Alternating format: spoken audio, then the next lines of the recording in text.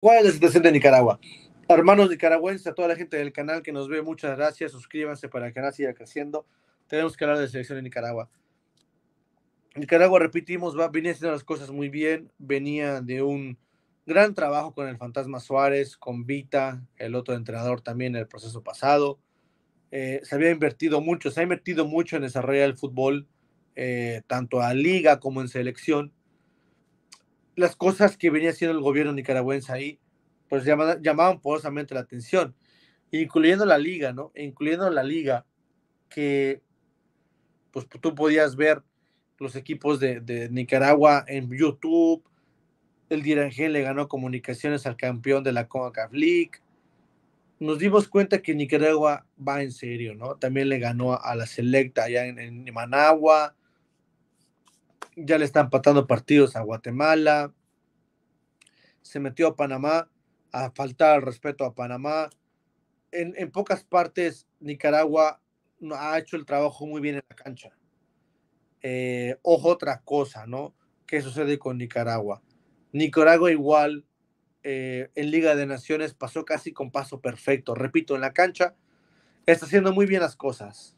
Muy bien las cosas. Ahora, lo de un jugador que es uruguayo, que no cumple los requisitos según FIFA y lo metes a, a, jugar con lo, con lo que digan los estatutos de la, de la FIFA, no sé, a lo mejor hubo negligencia de la Federación Salvador, de la Federación Nicaragüense. Al parecer sí, ¿Se puede solucionar esto? Yo creo que sí, porque eh, México igual hizo esto, metió a Alejandro Sendejas, por ejemplo, México, ¿no? Solamente multa económica, pérdida de puntos de ranking. Y México infringió con una posición grave porque partido amistoso, partido oficial, Sendejas era norteamericano. Y a unas elecciones los tratas bien y a otras elecciones los tratas mal. ¿no? En México pasó lo de Querétaro, no pasó nada. El Salvador pasó lo del Cuscatlán, no pasó nada. Y así muchos escándalos y escándalos en CONCACAF no les hacen nada. Pero Nicaragua hace esta, esta problemática y lo de casi casi lo desafiles de CONCACAF, lo destruyes, lo mandas al exilio a Nicaragua. Eh, se, me hace, se me injusto. Se me hace injusto. Realmente injusto puedes quitarle la oportunidad, no sé, bro, quitarle puntos rumbo al mundial, eh, multa económica, eh, a la siguiente Copa Oro no vas a jugarla, pero ya dentro ahorita, en esta competición, cuando todo está puesto para que Nicaragua luche, y sueñe con una Copa Oro y una Copa América en rumbo a Liga de Naciones, huele, huele muy mal. Aquí huele a gato encerrado, aquí huele que hay alguien o algo o, algo, por una razón hay una vendetta, hay una venganza personal en contra del equipo nicaragüense. No quiero pensar mal, no quiero pensar mal, pero sabiendo cómo opera FIFA, es un maldito show. Obviamente, lo, cuando salió, la, cuando salió, la, salió la, sanción, en el canal nosotros dijimos, ojalá que pues Nicaragua vaya al TAS, vaya hasta el último, a lo de Baron Castillo, también lo de Ecuador, Ecuador Baron Castillo, ¿no? Eh, era jugador de colombiano, jugó con Nicaragua, perdón, era jugador colombiano, jugó con Ecuador, eliminatorias mundialistas para ir al mundial, no pasó nada, no bajaron del tren a Ecuador, siguió siendo lo mismo. Repito, hay muchos ejemplos donde se le sanciona a uno y a otro se le parece que se le premia. Eh, repito, aquí huele, me llama poderosamente la atención, ¿no?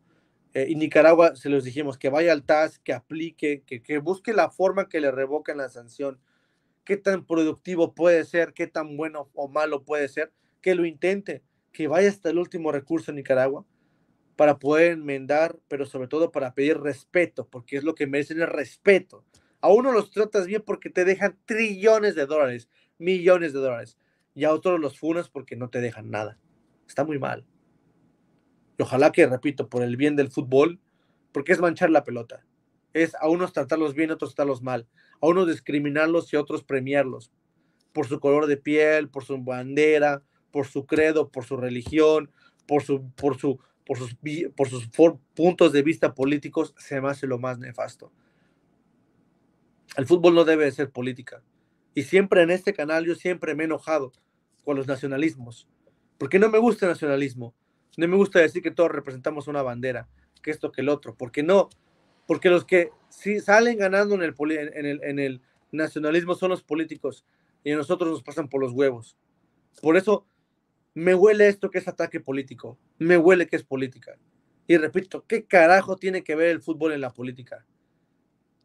Aquí todos somos hermanos, todos somos latinos, todos somos gente que nos encanta el fútbol. Está tratando muy mal a Nicaragua. Yo puedo ser Nicaragua, ¿eh? porque eso es un control sistemático, una discriminación sistemática pensada. Mañana puede ser México, mañana puede ser El Salvador, mañana puede ser Panamá, mañana puede ser Paraguay o Colombia. ¿Y qué vamos a decir? ¿Vamos a estar contentos? Hay que luchar. Y Panamá, todas las elecciones, repito, les puede caer, pero hay que ser solidarios y hay que apoyar a que Nicaragua salga adelante. Y ojalá que estos muchachos, estos hermanos, eh, luchen hasta las últimas consecuencias para ver si realmente fue o no fue. Que la justicia, que alguien, eh, que un tercero, que un juez imparcial diga, porque todo va a ser parcial acá, todo va a ser a favor de FIFA, nada a favor de la Federación Nicaragüense. Entonces, ojalá que los hermanos nicaragüenses recuperen su dignidad, que la pelota no se manche y que veamos a Nicaragua de vuelta donde les pertenece, porque Nicaragua si ha hecho algo es en la cancha, nunca fuera de la cancha. Todo lo hecho en la cancha. Y al parecer a FIFA le duele cuando alguien en la cancha lo demuestra. Y esto no me gusta, al contrario, me hierve en la sangre. Hermanos nicaragüenses, fuerza y ojalá que esta sanción sea revocada para ustedes. Dejen su like, suscríbanse, apoyen para que no siga creciendo. Un saludo, suscríbanse, suscríbanse.